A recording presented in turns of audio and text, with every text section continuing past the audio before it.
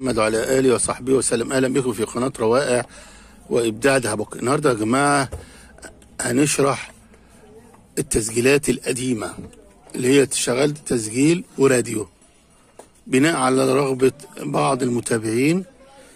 بس أنا هحاول أقول يعني أشرحه وأقول أعطال إن شاء الله ألم بأعطال كتيرة والمتابعين يلاقوا مغيتهم في معرفة العطل وسببه أو تصليحه. إن شاء الله. أول حاجة يا جماعة ده الجهاز جهازات عموما بتاعت ال بتاعت ال ال المسجلات عموما بتتكون من طبعا mechanism ده اسمه mechanism اللي هو اللي بيدخل فيه الشريط. من فوق كده يا جماعة هنا مفتاح راديو وتيب راديو وتيب. ده بنجيبه كده يروح ناقل من التسجيل أو المسجل إلى الراديو. نجيبه كده يبقى إيه تسجيل يبقى كده تسجيل ويجيب ويلغي الراديو ودوائر الراديو ويجيب المسجلات. هنا في كمان مفتاح اسمه مفتاح التون. ده طبعا ضايع. أنا كويس إن أنا لكم جهاز عندي قديم. تون ده بنظبط بيه النغمة بتاعة الصوت. طبعا ده إمكانياته قليلة بالنسبة للأجهزة اللي فيها مكبرات كبيرة وفيها ايكولايزر وفيها اللي هي بتنظم الصوت وبتتحكم فيه تطلع نبرة تخينة تطلع نبرة رفيعة. يعني بتتحكم في نغمة الصوت. أما ده مفتاح الصوت ده فبيتحكم في قوة الصوت اللي هو صادر منه. وده اسمه مفتاح ال volume أو مفتاح الصوت. جنبيه كده ده عموما على كل المسجلات يا جماعة اللي أنا بشرحه. مسجلات بالراديو أو الكاسيت. دي مفتاح ال band أو الموجة. طبعا ده أربعة موجة FM MW SW SW. طبعا في بلاد بيشتغل فيها الموجات كلها وفي بلاد ما بتشتغلش. في في مناطق تلاقي ال FM قوية وفي مناطق في نفس البلد تلاقي ال MW قوية. على حسب البلد هي مقوية إيه؟ مقوية ال FM وال MW طبعا ال FM دلوقتي هي اللي سايدة في مصر. ال MW مش قوية مش طبعا مع مع اختراع الموبايلات والأجهزة الشوشرة للأسف الرادي الراداوي دي بتستقبل إشارات الموبايلات فبيدخل عليها كمية شوشرة عالية. لدرجة إنك لو أنت بتشحن موبايل ممكن الترددات بتاعت الراديو عشان قريبة من من تردد اللي هو الشواحن بيستقبلها بواسطة الأريال بتاعته وبيطلعها في في الصوت. بعد كده يا جماعة هنا في مفتاح التوليف ال tuning ال tuning ده أو مفتاح أو دي أوكرة طبعا المفتاح من جوه مختلف جوه اهو. ادي المفتاح يا جماعة. ده الجزء المربع وعليه زي إيه؟ زي إيه؟ زي آه زي كده مسامير بنلجأ لها لظبط بعض الايه؟ المحطات في عند الضرورة. مش مش مش على طول عشان ما نغيرش الترددات بتاعته أو الظبط بتاعه اللي هو جاي بيه اللي هو ظبط المصنع. أفك كده يا جماعة عشان تبان أكتر الحاجات ديك. وارجع لكم تاني. خلعنا يا جماعة الايه السير ده اللي هو بتاع ال بتاع المؤشر بتاع المحطات وهو متصل طبعا بالعجلة دي أو البكرة دي كده أهو كده متصل بده كده هنا أهو في التدريج ده بيغير السير. طبعا ده ده المكثف المتغير ده اللي بنغير ده باندماج مع مثلا الملف بتاع ال AM دوت وده العمود ال ferrite. ده بتاع الموجه المتوسطة. الناعم قوي ده الملف ده متكون من أربع ملفات. وده بتاع الام ده. طبعا لو لو اتقطع ده بتختفي المحطات. طبعا بيعمل دايرة رنين مع الملفات دي مع مع المكثف ده. بيتولد دايرة ان بيسميها دايرة رنين يعني بتستقبل محطة. فده مجموع يعني يعتبر مجموعة من المكثفات. لو حطينا مكثف ثابت هيستقبل محطة واحدة. طب إحنا عايزين نغير ال- الموجة مش الموجة المح- المحطة ذات نفسها. فطبعا ده جعلوه متغير عشان يغير المكثف. المكثف يتغير باستمرار بواسطة. في إكس هنا في الوسط هنا. أهو كده يلف كده يلف كده يا جماعة. يروح مغير المكثفات ديت. وطبعا المكثف ده مكثف متغير مش ثابت. ومع كده برضو يا جماعة المكثف ده بي بنختار بيه الأربع موجات.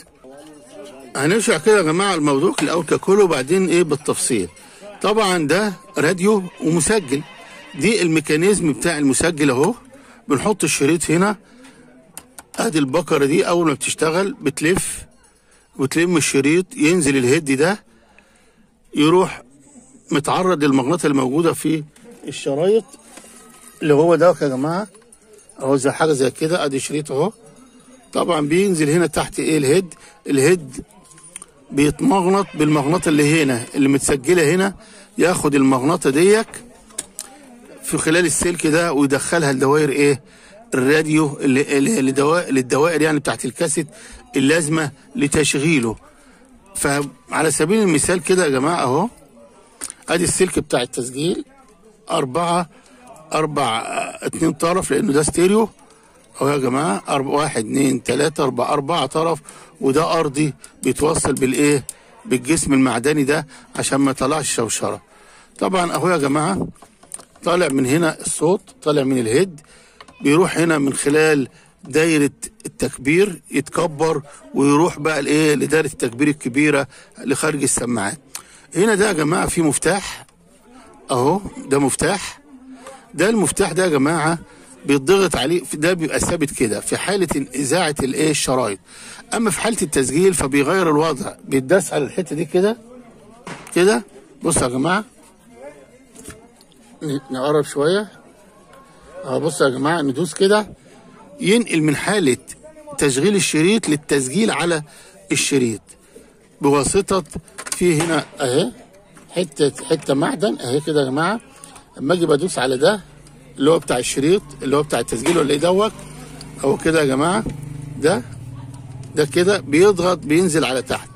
بس لازم أشيل الحتة دي تكون مرفوعة كده عشان تحرر الزرار دوت تحرر الزرار التسجيل ويروح دايس على قد الحتة دي. فالحتة دي أهي كده تخلي إيه؟ أهو يا جماعة. نخلي الزرار ده يروح نازل. بصوا اللي هو ده. ده أهو يا جماعة نزل لأن أنا حررته. طبعا حررته بالقطعة اللي تحت بتمنع نزوله. علشان كده يا جماعة أول ما بنجيب شريط ومش عايزينه يسجل بنكسر الحتة الصغيرة ديت علشان إيه؟ لو عايزين نسجل. طبعا الحتة دي وهي موجودة بيمنع آه إنك تسجل عليه. لأن إيه دي أهو بيروح إيه كده كده يسجل. طول هو نازل ما يسمحش للزرار ده بالتسجيل ومسح الشرايط. طبعا أنا ليا في يا جماعة يعني ليه في في, في فيديوهات تانية عن المسجلات وكل عطل بعطله. بس هندي فكرة كده عن الميكانيزم. طبعا زي ما قلت ده أما بدوس على المفتاح ده بينزل ال- الهيد في الشريط تنزل البكرة دي على الشريط ده عشان تسحب الشريط بنعومة. أهو يا جماعة ودي تلم. البكرة اليمين دي تلم ودي لو إحنا حبينا نرجع بتدوس على مفتاح الترجيع ودي تروح إيه مرجعة. وفي نفس الوقت برضو دي تقدم لو إحنا دوسنا على مفتاح إيه اللي هو المفتاح ال- التسريع. طبعا هنا في موتور أهو. موتور بيشغل الرونديلا دي. أدي دي جماعة اسمها رونديلا. آه دي اسمها آه اللي هي الطارة دي يا جماعة. أهو كده بيلفها كده عشان تلف المسمار دوك ويمشي تمشي الحركة منتظم مع البقرة دي. دي يا جماعة نسيت اسمها الحدافة. ودي ده دي برضو بقرة. أهي. متصلة ب أهو يا جماعة ب بهذا الإيه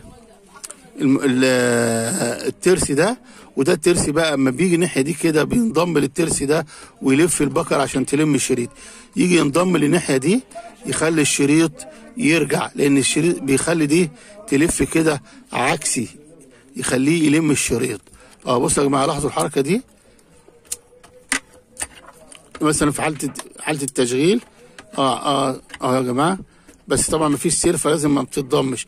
ده في حالة التشغيل. بيجي الترس ده على الترس ده والترس ده ده بيخليه يتقدم بسرعة. في ترس هنا تحت بيخليها إيه؟ اللي هي تشتغل في الإيه؟ ال- تحت ال... تحت الدراع ده.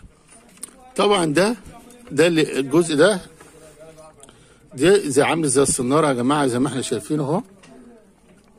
ده لما أجي أحط الباب اقفل الباب كده يروح ماسك الباب ما يخلوهوش يفتح.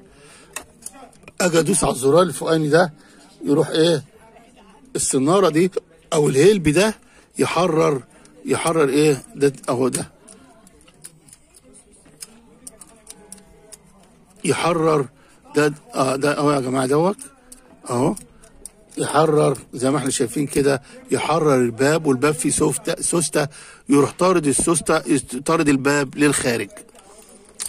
طبعا زي ما إحنا شايفين كده خارج هنا اهو. دي جاك تاني. اهو يا جماعة الجاك ده. اهو. غير ال jack المتصل بالإشارة. طبعا الإشارة اهو باين عليها في هنا سلك إشارة ومن داخل إيه يعني في آه، سلك شعر حوالين الإشارة عشان ما يهربش إشارة المسجل وتضيع طبعا ال jack التاني ده متصل بإيه؟ متصل بالموتور. أهم طرفين طرفين الموتور هم يا جماعة سالب وموجب وده 6 فولت. طبعا والمفتاح ومتصله في مفتاح صغير هنا ده بيوصل التيار أو الكهرباء للموتور ولدايره التسجيل. يعني ده لو لو لقينا الراديو شغال صوت الراديو شغال والراديو مش شغال وال- والتسجيل ال- الموتور مش شغال أو ما فيش صوت في التسجيل وفي صوت في الراديو المفتاح ده هو اللي مش موصل يا جماعة. بنقوم بنشوفه شغال ولا لأ. طبعا اعطال المسجلات أنا آه نزلتها في كل أنواع الأعطال المختلفة. بعد في هنا يا جماعة بقى طريقة التشغيل بقى إيه؟ في هنا زرار زي ما إحنا شايفين الزرار ده يا جماعة اللي إحنا قلناه ده ده اللي هو اللي هو التيب والراديو اللي هو اللي. اللي بيفرق بين يعني يوصل آه، حالة من حالة الراديو لحالة الايه التسجيل أو المسجل ومن المسجل إلى حالة إيه التسجيل ده اذا كان طبعا الراديو شغال والمسجل مش شغال فده بيدخل من ضمن الأجزاء اللي يجب فحصها هو وده لأن ده مسؤول عن في حالة التسجيل في حالة الراديو تشغيل الشريط وحالة التسجيل على الشريط عن طريق تغيير الأكس ده أو الجزء ده كده وده نفس الحكاية. بينقل الراديو من حالة الراديو إلى التسجيل فطبعا لازم ليه علاقة بإن مفيش صوت. لأن في ناس كتيرة قالت لي الراديو شغال والتسجيل مش شغال. يبقى كل الأجزاء المسؤولة عن تشغيل الشريط مسؤولة ومنها الهيد. يعني الهيد أهو لو ما فيش صوت لا إما ده بايظ تالف ذات نفسه ملفات اللي جوه فاصلة أو أحد اطرافه مكسورين أو إن الهيد ده بعيد بعيد مش نازل للشريط عشان يحس بالمغناطه اللي موجودة على الشريط المغناطيسي.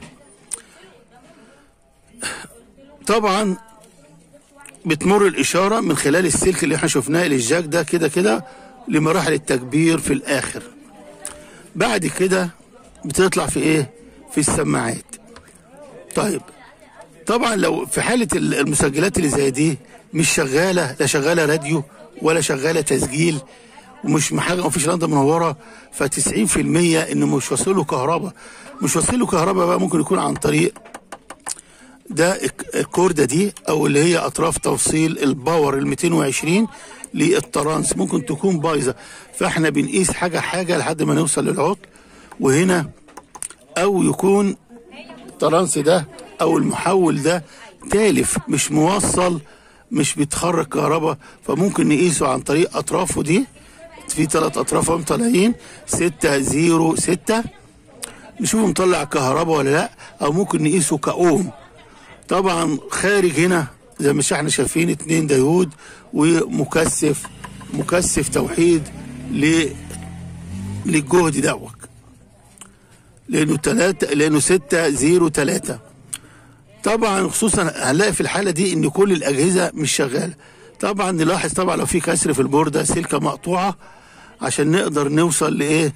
لسبب عطل التسجيل قاطع ليه كله. هنا يا جماعة ندخل بقى لد- دوائر الراديو.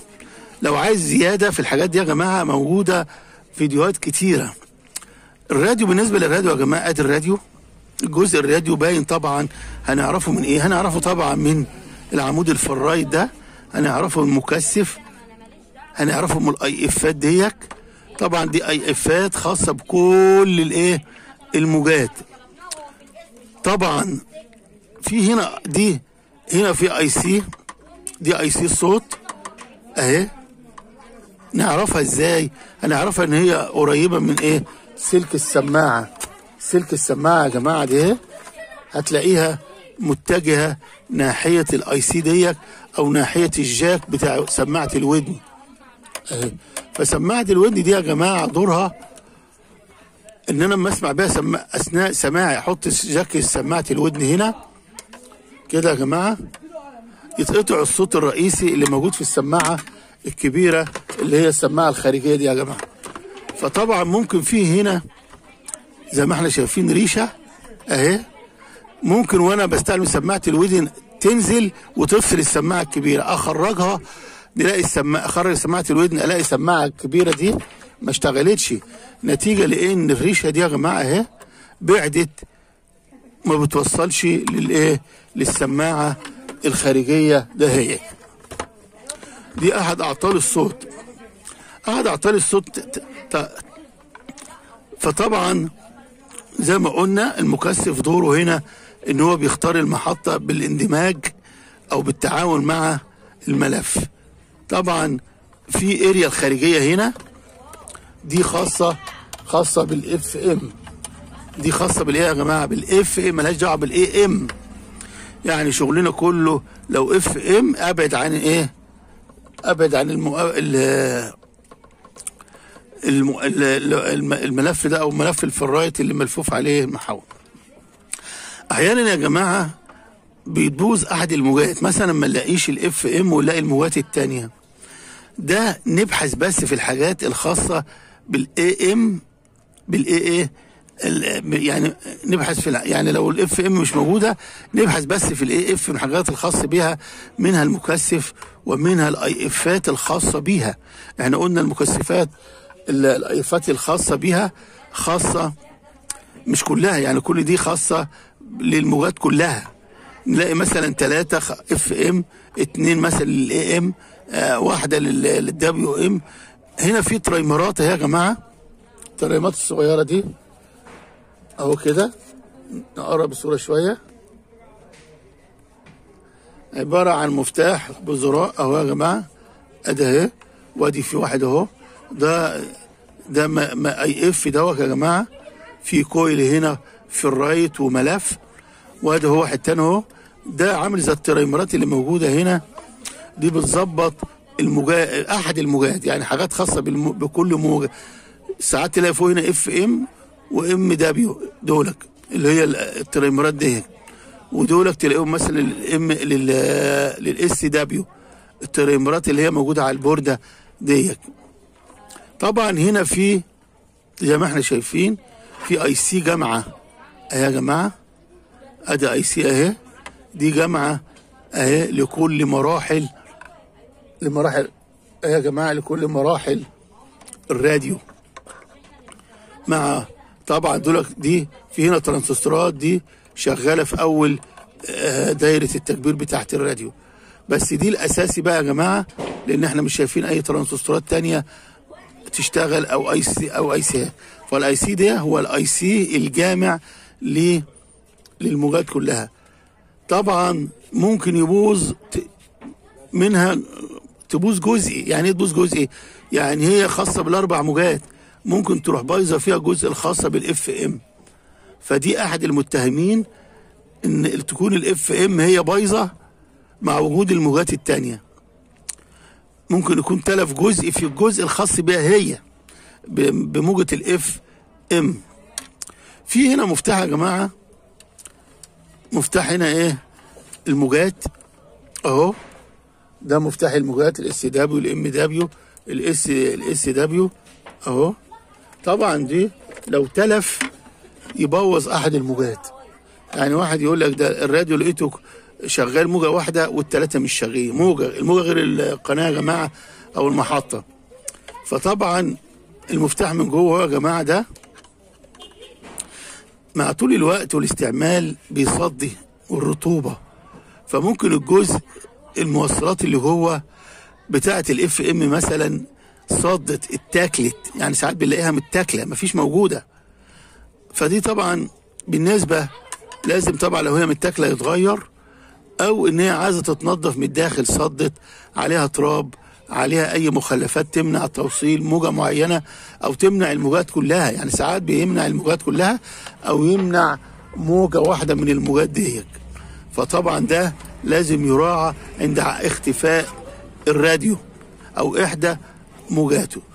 وال IC ديك طبعا لو في حد لعب في الايه ال IF ات دي يا جماعة طبعا بيتغير التردد عشان ما حدش يعبث فيها لأن الحاجات دي بتتظبط في المصنع بأجهزة. مش طبعا إحنا أحيانا لما يكون حد لعب فيها وغيرها بنجتهد إن إحنا نحاول نظبطها بمفك صليق مفك عادة زي مثلا زي يعني مفك عادة. مفك عادة يا جماعة. ونظبط. طبعا ده بنبقى مضطرين. لكن أنا ما أنصحش باللعب فيها لو ما حدش فتح الأجهزة دي قبل كده عشان ما غيرش التردد وهغيب محطات أو أضعف محطات لأن دي بتتظبط في المصنع. ولكن لو أنا اضطريت أظبط كده أجيب لو في مثلا عندي محطة شغالة أظبطها على التدريج بتاعها على المينا. واحاول بقى إيه ال- ال- التريمرات دي سنة صغيرة كده يا جماعة واعلم الوضع القديم بتاعها عشان لو ما اتظبطتش أرجعها تاني لوضعها. طبعا أكيد في اتنين من دول شغالين مع ال FM واتنين مثلا مع ال AM ماليش دعوة بال AM ده أنا ما بظبطش ماليش دعوة بال F بالتالي ال AM شغالة. عشان أبقى بظبط ال IF أشوف ال IF ات دي طب أنا أعرف إزاي ال IF ات بتاعت ال AM أمسك المفك كده العادة يا جماعة وهي اجيبها على المحطة نفس المحطة اللي شغالة. وأحاول أظبط كده يمين وأشوف ليها تأثير الحركة دي ليه أثرت على المحطة ولا لأ؟ لو أثرت على المحطة اللي هي موجودة اللي أنا مشغلها يبقى ده تبع ال FM وأعلمه. عبث فيها أو حد لعب فيها قبل كده أو حركها أرجعها للتردد القديم بتاعها. وهكذا لحد ما أعرف ال IF ات دي بتشتغل كل IF مع أنهي موجة. لو هظبط ال FM أبقى عارف الايه ال IF ات بتاعتها. لو عارف ال AM لو عايز أظبط ال AM هي اللي مش شغالة أبقى عارف ال AM اللي أعلمهم بأي علامة مثلا بقلم فلوماستر. لحد ما إيه طبعا أنا أبدأ من هنا كده وبعدين إيه واحدة واحدة واحدة أظبط في المحطة دي وأعليها وأبقى عارف مكانها لأحسن جودة من غير شوشرة وعالية. وأتابع العملية ديك وأشوف كده الموجات جت ولا لأ وأرجع وهكذا. العملية دي يعني أكررها لضبط أحسن صوت وأحسن آه وعلو صوت. طبعا يا جماعة لو كان مثلا هنفترض يعني التسجيل شغال طلع صوت طلع صوت ودي الراديو مش شغال. يبقى كده يا جماعة نشوف الأجزاء الخاصة بالراديو اللي هي بتشغل الخاصة بالراديو. مثلا إيه الخاص بالراديو؟ مثلا طبعا بدل في صوت يبقى أنا كده طلعت ال IC الرئيسية بتاعت الصوت بره لأن ال IC ديت بتاعت إخراج الصوت شغالة راديو وشغالة تسجيل والمفاتيح دي هي اللي بإيه؟ اللي بتغير. فطبعا أول حاجة لو الراديو مش شغال أشوف المفتاح بتاع الإيه؟ تغيير الوضع. من التيب أو من الكاسيت للراديو؟ لأن ده ممكن يكون في برضه مصدي من الداخل الأطراف بتاعته متاكلة أو مصدية فلازم أعالجها وأشوف إيه السبب. عملت كده وبرضه الراديو ما اشتغلش. يبقى الراديو كله ما اشتغلش. يبقى كده ممكن يكون إيه؟ الاي سي ديك اي سي الراديو أو اي سي الموجات أو في مثلا في شرخ في ال board ده بتمنع وصول مثلا إيه؟ الكهرباء لجزء الخاص بالإيه؟ بالتشغيل بتاع الراديو. طبعا ابص واشوف أي حاجة ملخلخة لحامات جافة آه في شرخ. أنظف مفاتيحي بتاع الموجات بعد كده أشوف بقى إيه الموجة الواحدة اللي بايظة ولا المو ولا الموجة كلها؟ لو الموجة كلها يبقى طبعا الحاجة المشتركة في كل دولك هو ال IC دي وهذا الإيه؟ المكثف. المكثف ده بيشغل بيشتغل مع كل الإيه؟ مع كل الموجات. وال IC دي بتشتغل مع كل الموجات. بدل كل الراديو. كل الراديو قاطع والتسجيل في صوت وشغال طبعا ألتزم طبعا برقم ال IC أشوف أي عبث في اللفات ديت أو هنا. طبعا لو لقيت ال AM مش شغال وال FM شغال يبقى احتمال الحاجات الخاصة بال AM شغالة اللي هي مثلا إيه الملف ده أو جزء الخاص بموجة ال AM الموجود في الايه في المفتاح ده. ممكن يكون المفتاح ده يشغل موجات وما يشغلش موجات ده ما يشغلش ال AM ال AM طبعا ملوش علاقة بال FM بعد كده ال IC دي قلت اللي هي خاصة بالراديو بموجات الراديو ممكن تقاطع تكون قطع AM ومشغلة FM فطبعا الاحظ العملية ديت أتأكد من سلامة الجهد وأتأكد من سلامة الجهد الستة فولت واصلين لأحد أرجل لو أنا مش عارف أنهي رجل يعني واصلة في أنهي حتة أتأكد من عدم وجود شورت. على الدايرة أقيس المكثفات دي كده بال buzzer أشوف أي مقاومة مفتوحة تكون شايطة محروقة شرخ ممكن يكون هو اللي عامل لي العملية ديت. بعد ما انضف طبعا مفتاح الموجات ده والمفتاح دوت وخصوصا في حالة قطع كل الراديو مع وجود شريط الكاسيت شغال. من المعروف يا جماعة إن الراديو ده راديو اتجاهي. يعني إيه يعني موجة ال AM دي اهي لازم يكون ليه اتجاه الملف ده ليه اتجاه. يعني لو حطيته كده يجيب لي هيخفي لي هيجيب لي المحطات واطية. لو لفيته كده كده أو كده هلاقي الإيه على حسب موقعي يعني. هيجي لي الصوت اوضح فهو لازم تغير وضع الراديو وتتأكد إن استقبال المحطات في أحسن وضع للراديو سواء ناحية الجنوب أو الشمال أو ناحية محطة الإرسال. فلازم نلاحظ الحكاية دي. أما وجود في ساعات بيقول لك الجهاز عليه طنين فده عطل يا جماعة عطل power وخصوصا المكثفات. ال power أقل من الطبيعي ال power اللي هو الطنين. طنين كده يا جماعة صوت زي الزنة. فده معناه إن المكثفات ما بتنعمش الجهد كويس. ساعات نلاقي صرير صرير أو خشولة. ده بيبقى تلف أحد المكثفات ما بتسربش الترددات العالية دي للأرض. نبحث عن أي حاجة أي حاجة أي يعني أي مكثف يكون مفكوك مكسور محروق.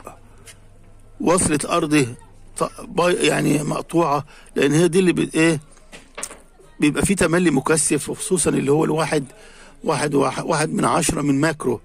ده بيبقى عاملينه عشان إيه؟ لأنه بيمرر الترددات اللي هي اللي هي اللي بنقول عليها إيه؟ اللي هي العالية اللي هي فيها سكسكة كده. دي بيوصلها للطرف اللي بيوصلها للارضي الأرض طبعا معروف عندنا الأجزاء المعدنية دي تملي بتاخد الارضي أهو يا جماعة دي بتاخد ارضي سالب ارضي فنتأكد من الحكايات ديت. طبعا في نسيت أقول حاجة؟ زي ما إحنا شايفين ده 6 فولت. طب إحنا عرفنا إزاي الجهاز بيشتغل على 6 فولت؟ عن طريق عدد الحجره الموجودة في علبة الحجره دي من البارة نشوفها بياخد كام. طبعا عارفين إن الحجر بياخد واحد ونص فولت. واحد ونص إيه؟ فولت. أو واحد واتنين من عشرة بس هو واحد ونص فولت اللي ماشي اللي غير اللي هو غير الغير قابل للشحن. طبعا على حسب العدد نجمعهم يطلع لنا قيمة ال trans ده آه، لو إحنا مش عارفين ال trans ده كام فوق خارجه كام فولت. في عطل يا جماعة عايز أقوله تاني لو الجهاز ندوس على زرار الكاسيت بيشتغل الموتور بيشتغل واصل له كهرباء الراديو ولكن مفيش إيه مفيش آه، مفيش صوت على الراديو ولا التسجيل. ده يا جماعة يبقى إيه؟ ده أول حاجة السماعة السماعة دي يا جماعة طبيعي اللي هي بتخرج الصوت. هقيس الصوت هقيس السماعة وأتأكد من الأسلاك الواصلة ليها شغالة ولا لأ. تاني حاجة ال jack ده ال jack ده يا جماعة زي ما قلت jack الودان ده ده من خلاله بيوصل الصوت للسماعة. أتأكد لو عندي لو عندي آه سماعة ودن أشوف في صوت هنا ولا لأ. لو في صوت هنا ومفيش في السماعة يبقى السماعة دي فيها حاجة لا إما هي بايظة أو أو أو ال- صوت الراديو مش واصل لها. فطبعا أشوف العملية دي إيه سببها عن طريق القياس السلك سليم ولا لأ؟ في شرخ على ال board ده بعد كده يا جماعة في هنا مفتاح ال volume. أهو. ده العادي ليه طرف. ال- اللي هو الاستيريو ليه ستة طرف. طبعا أحط هنا كده يا جماعة. في هنا ثلاث أطراف اهمك مش عارف باينين ولا لأ. أحط مفك كده رفيع على الطرف مثلا إيه الوسطاني. لقيته اداني صوت يعني اداني زنة في السماعة طلع صوت خد الإشارة بتاعت إيدي دي بواسطة المفك وطلعها في السماعة. يبقى جميع مراحل المكبر كلها سليمة. مكبر الصوت إلى إلى مرحلة السماعة أو السماعة يعني وكمان سماعة الودن. طبعا إديت سو... إديت إشارة وما طلعش صوت يبقى كده العيب كله في دايرة الصوت في دايرة تكبير الصوت بتاعت الراديو وبتاعت التسجيل اللي هي مشتركة بين الاتنين. طبعا أنا في في يا جماعة خلي بالكم عشان في فيديوهات تانية عن المواضيع دي كل ده تكملة لبعض لأن صعب إن أنا أشرح كل الراديو والتسجيل وكل أعطاله في فيديو واحد.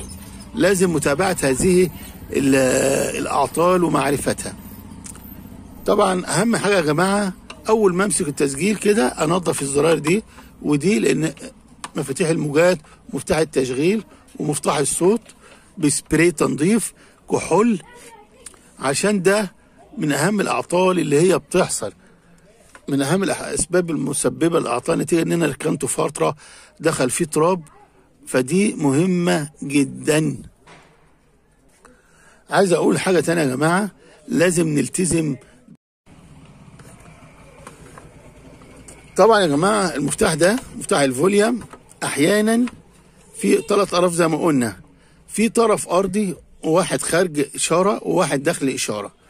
لو اتفصل الطرف الأرضي ده من الثلاث الأطراف يعني معناها إن أنا مش هتحكم في الصوت الخارج من الراديو لأن المفتاح اللي أنا بتحكم بيه ده بواسطة قرب وابتعاد الطرف الأرضي الطرف الثالث من الإشارة عن طريق طبعا تغيير الأكرة ديت أو أكرة المفتاح. فلو هو مثلا ما بيشتغل ما, بي... ما بيوطيش الصوت يبقى المفتاح طرف الأرض بايظ ممكن يكون فاصل من على البوردة أو إن المفتاح ذات نفسه هو اللي بايظ.